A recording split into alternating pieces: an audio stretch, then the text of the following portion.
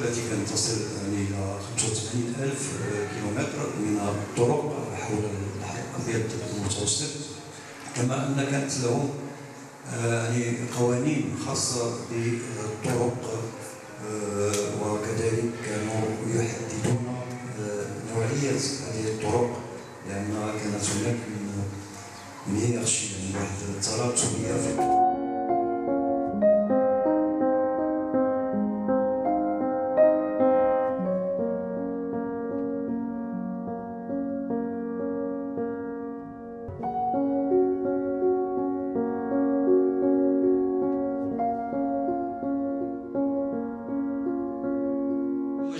لجميع الحاضرين لجميع هواة المشي هنا بطنجة وبغير طنجة ونجدد الشكر للضيوف اللي جاونا من خارج مدينة طنجة خصيصا باش يحضروا هذا النشاط هذا.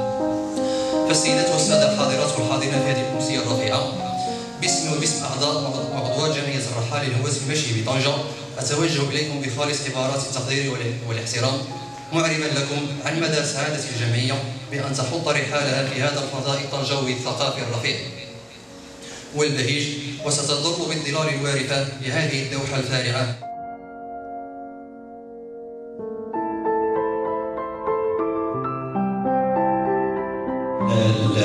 اللقاء اليوم جد مهم بالنسبة لنا. باش نعرفوا طنجة طنجة القديمة طنجة الحقيقة اللي كانت قديما كيف كانت كيف كانت ممراتها. طبعا ماشي تلوها بعد ذلك لقاءات. ثقافية رياضية فنية.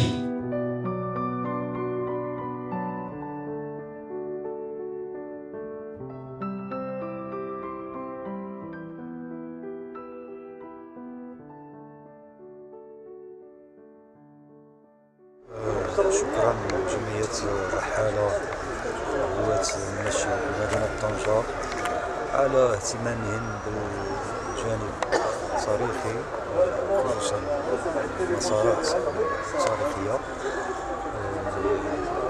مدينة طنجة ومحيطها وأتمنى لهم التوفيق في أنشطتهم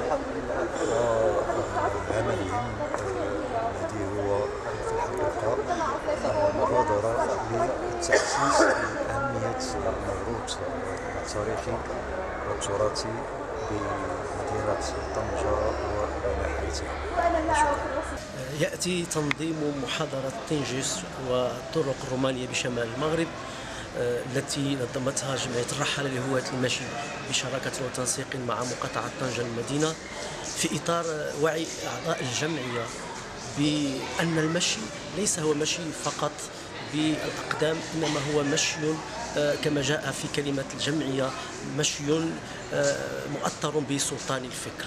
معنى آخر ذلك أن الجمعية نظمت مجموعة من الرحلات والخرجات مشى على الأقدام وازنة في منطقة شمال المغرب وخارج المغرب أيضا.